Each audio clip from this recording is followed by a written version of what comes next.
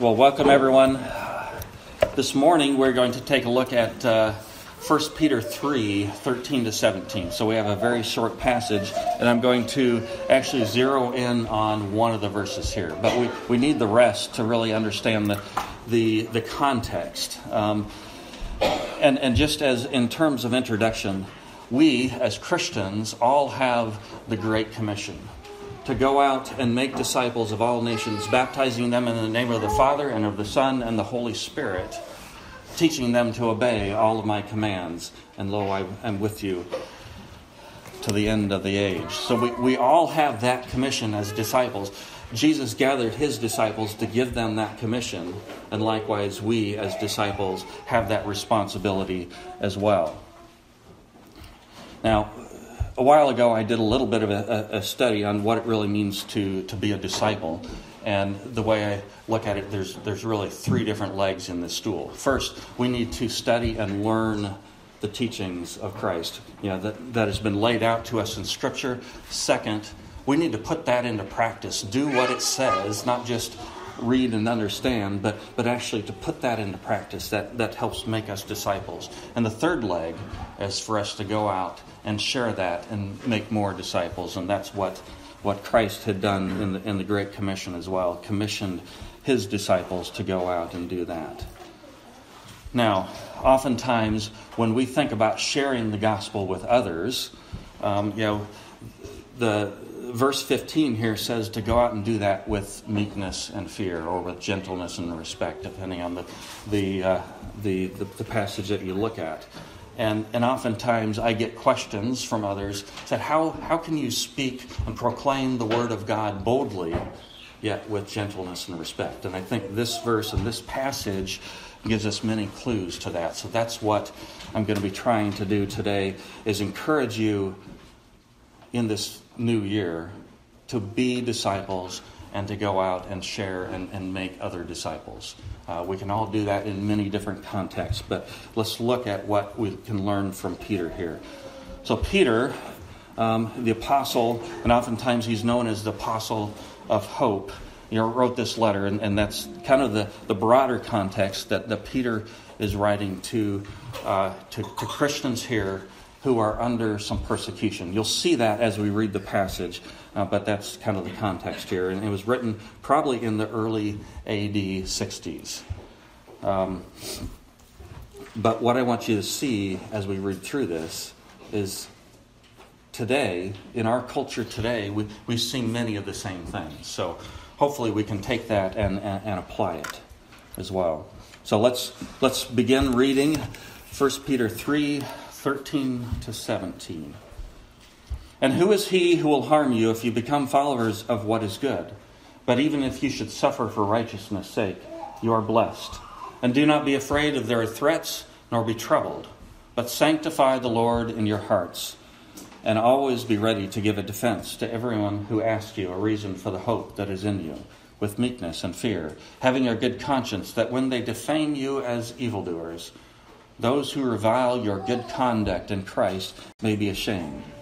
For it is better, if it is the will of God, to suffer for doing good than for doing evil.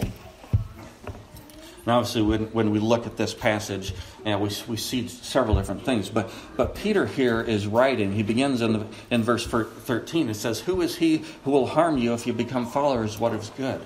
So, the context, we really need to look back to the previous verse to really understand that, uh, you know, what he means by that particular uh, passage. Um, verse 12, if you look at that, says, For the eyes of the Lord are on the righteous, his ears are open to their prayers. In other words, God is watching over us. He is listening to his prayers, to our prayers. We are sons and daughters of God, and, and he wants to listen and respond. He always responds and, and watches out for the good of his people. The second half of that verse says, But the face of the Lord is against those who do evil. So again, we, we go into verse 13. It says, Who is he will, who will harm you if you become followers of what, what is good? Now, some may look at that and say, That's kind of a rhetorical question. So if you're doing good, why would anyone harm you? But we, we also look at this and say, in, in the context, when we look at verse 12, this is somewhat of if God is for you, who can be against you? So, in the face of those who seek you harm, in the face of those who are persecuting you, remember that God is watching out over you. So, do not fear. But even if you should suffer, verse 14, even if you should suffer for righteousness' sake, you are blessed. And do not be afraid of their threats, nor be troubled. So we see in the context here that those who are reviling these Christians are seeking, they're, they're, they're, they're posing threats against them. They're seeking harm. The Christians there feel like they are in danger. Now, I'm going to skip over 15 because we're going to probably spend most of our time on 15 and really unpacking this. And um, probably one of the most extreme situations where I have, and, and, and I will go through and take this very expositorily. So we're going to go in, in verse 15, we're going to look phrase by phrase and, and help understand what that means. But we're, we're to give a defense to everyone who asks a reason for the hope with meekness and fear, having a good conscience. So as we do this, we need to have a good conscience. That when they defame, when they defame you as evildoers, and this is one of the things where I think it, it really applies to our situation today. Because how many times have we heard in our culture that oh, you Christians are a bunch of haters, right? They're, they're seeking to defame us. Why don't you just let us love who we want to love? Why don't you do this? You know, and, and we could take an example um, of, of defaming, you know, seeking to defame um, us is, um, you know, back in Oregon, maybe a year or two ago, there was a case where a lesbian couple came in and they, they wanted this bakery which happened to be a Christian bakery, to bake them a wedding cake, a lesbian wedding cake. And being Christian owners, they said, no, we can't do that because we cannot condone, um, you know, the, the marriage of a lesbian couple. Now, obviously, they were offended. They filed a complaint, and eventually there was a, a lawsuit, and um, unfortunately, they won that lawsuit. But they'll probably never ever see the money either. But, but you can see the situation today where the unbelievers, those who do not trust, put their trust in Christ, are seeking to defame Christians. And, and, and oftentimes we see as well that they are falsely accusing us, just as Christ was falsely accused. We, we see this context that, uh, that we have here, and hopefully you're seeing how it, how it relates to today as well. In fact, John 16 says, They will put you out of the synagogue. Yes, a time is coming that whoever kills you will think that they are offering God a service. So, with that context, now let's dig into verse 15, which says, But sanctify the Lord God in your hearts. Now, part of this, when we look at this, this is first a contrast between what how we should respond. It's in contrast to what the accusers are, are coming into and doing. And, and that we, first of all, do not need to respond and should not respond in kind. When they seek our harm, when they seek to threaten us, our response should not be to threaten back or to seek their harm or, or to attack back, but instead, we're to set God apart in our hearts because we, as Christians, we hold the name of Christ. What we do and how we respond reflects our Redeemer. It reflects who God is. And, and, and we need to make sure that we're not responding in kind. Um, I tie this again, you know, to verse 16, which says, "Do this in good conscience," because oftentimes when we respond in kind. You know, someone attacks us, it's natural, uh, oftentimes, to, to attack back. Yet when we do that, later on, we think, and, and, and, and we get this sense of guilt. You know, maybe I shouldn't have said that. Maybe I shouldn't have brought that false accusation against that person or, or, or said that. And, and we get this sense of, of guilt. So, in good conscience is, is, is really what's, what's important here. Um, and, and, and honoring Christ. But we, we see also the flip side. when we respond in the way that, that Peter is talking about, in the way that Christ uh, wants us to, um, to respond, we see that the shame and the guilt goes on them instead. Because why would someone else looking looking on and, and seeing, hey, you know, these people are, are seeking good, but you're attacking them. Why? And, and they, they feel that sense of shame and guilt. So, responding, how we respond, is very important uh, here, and it, it, it helps us sanctify God as holy. And it, it, is Christ that we honor. It is He who lived and was raised and died on the cross to cover our sins. And He was resurrected as well. He is a high priest that can identify with us. He, he went through the same sufferings, the same trials, the, the, the, the, same situations that we have been through. So, likewise, in the context here, in the face of those who seek us harm and, and, and give us threats, we should use the example of Christ and how we respond there as well. We need to be a living example of Christ to those around us. Next, we look, and we have the next phrase which says, always be ready. And when, when I look at that, the, the first thing I think of is the example of Philip the evangelist. How many people know Philip the evangelist? Okay, there's, you guys know your, your Bible stories and, and, and so on. Philip the evangelist, he's called Philip the evangelist in, in Acts 21. Um, but his, his real story and the example I'm looking at here is comes from Acts 8, uh, 26 to, to 40. Now I've got just kind of a summarized, shortened version here to remind everybody. But here, an angel of the Lord spoke to Philip, saying, Arise and go towards the south along the road that goes to Gaza. So he arose and went. So here we see first the example that God calls us, you know, calls him to always be ready, and he goes. We need, when we are, are called by God to go and do something, we need to go. We need to always be ready to, to do that. Behold, a man of Ethiopia, a eunuch of great authority, sitting in his chariot, and he was reading Isaiah the prophet. And he was reading, he was led as a sheep to the slaughter, and as a lamb before its shearer is silent, so he opened not his mouth. In his humiliation, his justice was taken away, and who declared his generation? For his life is taken from the earth. Philip ran to him and said, Do you understand what you are reading? And the eunuch answered and said, I ask you, of whom does the prophet say this? Of himself or some other man? Then Philip opened his mouth and beginning at the scripture, preached Jesus to him. Now, Philip was not necessarily prepared and say, hey, I'm going to go over here and this is what's going to happen and I, I got to get all my sermon notes already and, and, and everything else. He just went when God called him.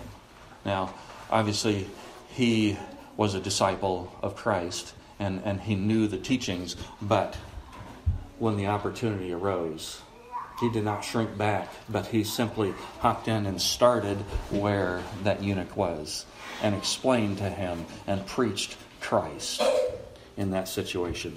So we, likewise, we need to be used and be ready to be used by God and go where we are sent. The next phrase in verse 15 says, to be ready, to give a defense. Now, um, you know, this this is an often quoted verse by um, people engaged in, in, apologetics, and, and, and oftentimes this verse, they'll point out that that Greek word that here is um, translated as defense, and in, in many other um, translations is translated as answer, um, that this is what we need to do. We need to be ready to give that answer. They, they point out that the Greek word apologia means a legal defense. That, that, that we, we take this and, and we reason it out. We, we have a logic, we have a way to present this to others that shows that Christianity and the gospel, while it may be a stumbling block, it is, it is a reasonable faith. Now, sometimes, and, and this is where we look at it and say, oh, okay, how can we do that and do it with meekness and fear or gentleness and respect. Because oftentimes the apologist, when they're focused too much on the reason and logic, they go past this gentleness and respect and become too much focused on the defense and the argumentation.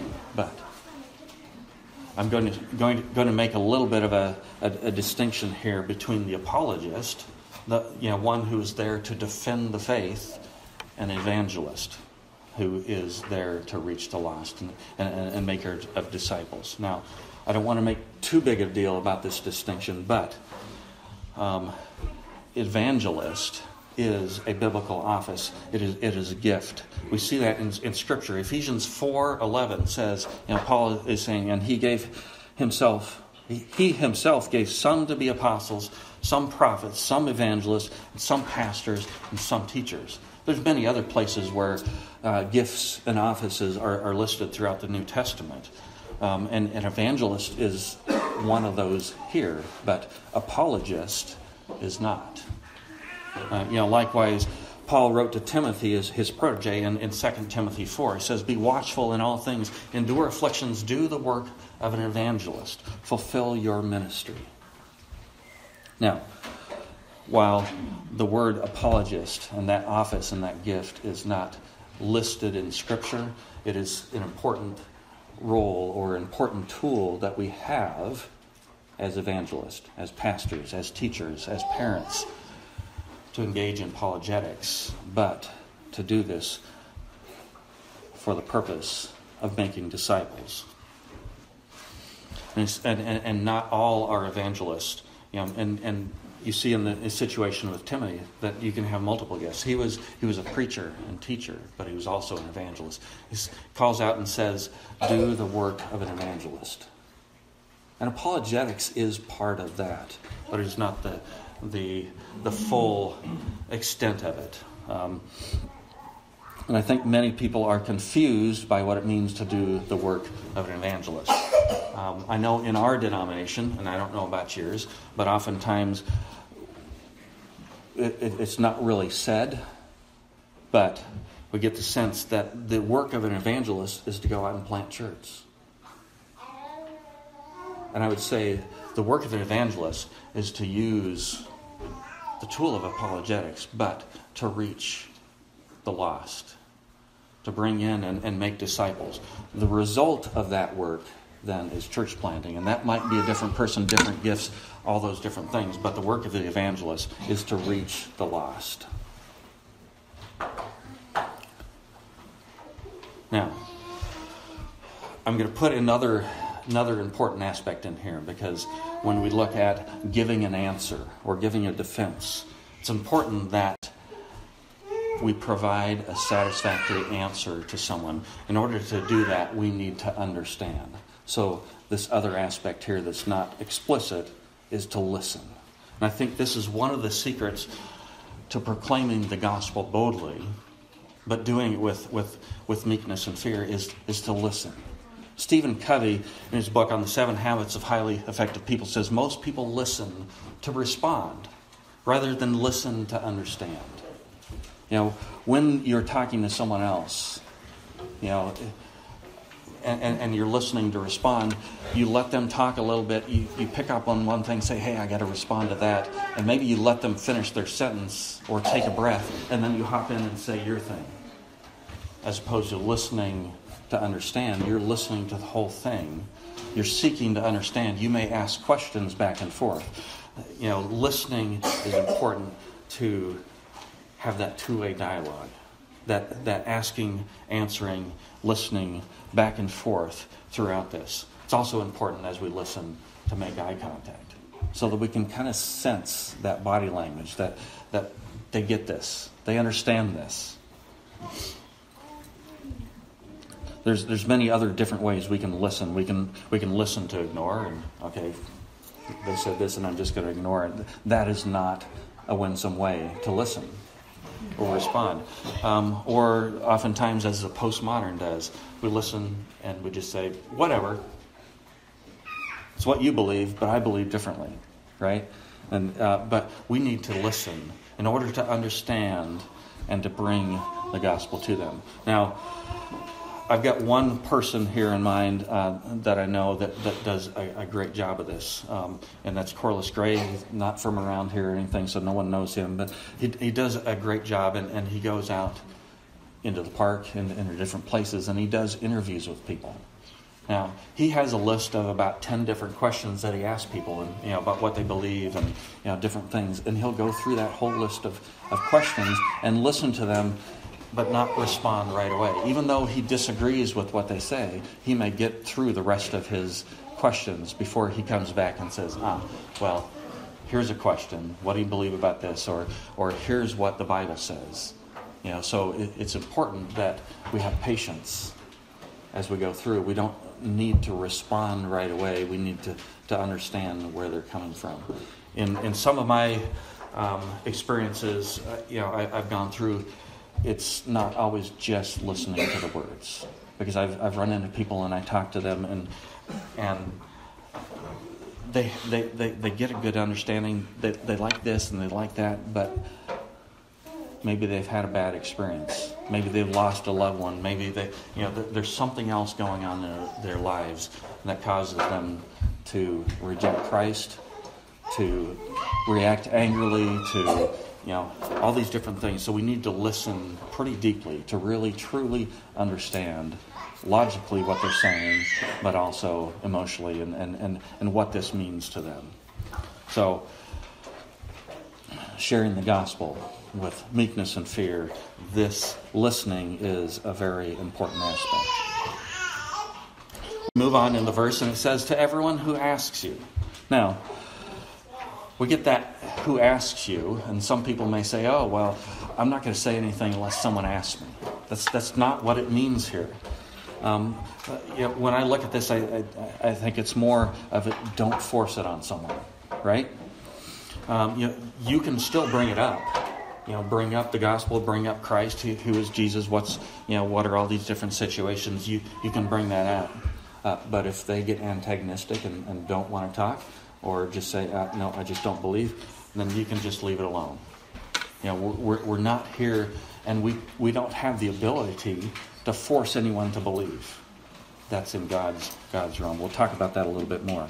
Now, the other thing about this is this whole context in, in, in this verse and in, in this passage that we're looking at is, while it may not be incompatible with the idea of friendship evangelism, it really runs very contrary to the basic premise that you should not share the gospel with someone until you've become friends with them. Oftentimes it's used to shut Christians down. You know, if, if, if you've got to spend six months or, or two years making a friend before you can bring up the gospel, it pretty much shuts you down. You, you, you can't do that. Besides, you're building your friendship and your relationship on something that's false. It's not who you are. Who you are, going back to sanctifying Christ, holding Him to be holy, who you are as a Christian your friendships should start with that. Now, Ray Comfort says, I can make a friend in 30 seconds. Now, if you want to keep on going down the path of friendship and evangelism, I can make a friend in 30 seconds that I can bring the gospel to him right there without investing two years in that myself. And it, and it, and it builds on a false premise that we need to earn that right to speak to others. Now, in this context, remember that Peter is saying there's others who are seeking you harm, there's others who are threatening you, and in this case, give them that answer. Share the gospel with them. And you know, that goes completely contrary to making friends with them. It's it's your enemies who are coming and attacking you. Share the gospel with them. With everyone. There, there's there's not there's, there's not a passage here that says, and to your friends who ask you. It's to everyone. And we go on to the next phrase, or next, really the next word, to give them a reason. The example I, I, I look at here is the Apostle Paul. He says, and, and, and Paul, over and over throughout the book of Acts and, and, and everywhere else, he says, Paul was reasoning with them from Scripture. So, reasoning, kind of tying back a little bit to that defense and answer, um, is an important aspect. Uh, but the other part here is that we reason from Scripture. If it is not from Scripture, it is merely my opinion versus yours. And they're right to respond, well, that's what you believe. I'll go do what I want, right? Scripture is what gives us the authority. Scripture is what draws people to Christ Himself. You know, we could look at Acts 17, you know, when, when Paul's going through Thessalonica and the Bereans and, and, and Athens. Uh, Acts 17 2 says, that Paul, as was his custom, went in to them and for three Sabbaths reasoned with them from Scripture. So that's an important example we see of how we should do this. Because when it's our opinion, we tend to get argumentative. We need to defend our opinion. But when it's God's Word, it has authority. It has authority that we do not even recognize at times because God's Word is living and active. It is, it is effective. It does not go out void. And we forget sometimes. We think the Word of God is simply words. But there is, there is power behind that as well. Uh, Acts 17 17 you know, here in Athens, as he, as he entered Athens, says, Therefore he reasoned in the synagogue with the Jews and with the Gentile worshippers, and in the marketplace daily with those who happened to be there. So let me point out that, you know, here it's in the marketplace daily. It's, it's not something where we just wait for people to come into us and then we'll tell them. But Paul, in his example, he's going out into the marketplace and not, not necessarily doing a marketing plan and saying, hey, here's the people I want to reach. It says, with those who happen to be there. God will bring people into your life, into your path, and, and give you the situations where you can bring the gospel to them. But the first part of this verse is important too. The first part of the voice, he says, he went to the synagogue of the Jews and the Gentile worshippers each and every one of us, just because you're sitting in this church, listening, and a member, and, and, and, and all these things, we still need to hear the gospel. You know, there, there's all sorts of situations, you know, where we can't just assume, and, and we, we need to get the gospel to each and every person. You know, it, it may be that you're coming here just because it's always been a family tradition. I'm, I'm, I'm part of this, and, and and I'm just here. But we need to hear the gospel and share the gospel here in church as well. Or maybe we all go through ups and downs in our, in our faith, and maybe we need to hear that and remind us of what Christ has done for us as well. So it's important that we don't wait for people to come in, but we go out, but we also preach and share the gospel here in the context of the church. Now, verse 5 in this chapter as well says, But the Jews who were not persuaded, becoming envious, and it goes on and says, basically, they started a riot and, and ran Paul out of town. So, the important thing here is that despite your logic, despite your reasoning, despite all of these things, there's still going to be people who are not persuaded. And it's not our job as men to persuade others you know, um, but it is God's responsibility. It's, it's Him through the working of His Holy Spirit and, and, and regeneration to draw them to Him. And we've got a few verses here to look at. You know, John 6, when Jesus was speaking, He says, No one can come to me unless the Father who sent me draws him. So it is God who is drawing him, and I will raise him up at the last day. Or John 12, after Jesus comes in and the triumphal um, entry into Jerusalem right before his crucif- crucifixion, he says, And I, if I am lifted up from the earth, indicating his crucifixion, will draw all people to myself. So we understand, even though we may not do everything per- per- perfectly, you know, it, it's not, you know, we are sinners, we are fallible, we use fallible logic, we use fallible reasoning, fallible, um, all sorts of different things. But it's not up to us. So, so don't feel like, hey, I can't do this quite right, so I'm not going to do it. Because God uses fallible people or fallible situations to draw people to Him. It is He that does the work.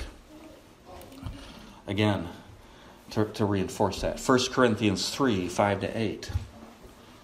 Um, as Paul is speaking to the Corinthians, then, and, and, and some are saying, Hey, I follow Paul, I follow Apollos. And Paul says, Who is Paul and who is Apollos, but ministers through whom you believe, as the Lord gave to each one? In other words, God uses his people to bring others. They're the ministers through whom they believed. He goes on, verse 6 I planted, Apollos watered, but God gave the increase. It is the work of God to bring someone in. So then, neither he who plants is anything nor he who waters, but God who gives the increase. He closes out with, with some encouragement. And while he says, Now he who plants and he who waters are one, and each one will receive his own reward according to his own labor. So he's encouraging us.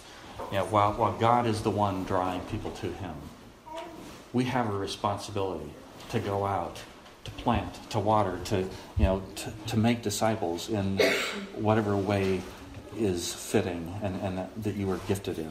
And, and he will give us a reward for the work and the responsibility that we have taken there. And, and, and the final phrase that we're going to look at today here is for the hope that is in you.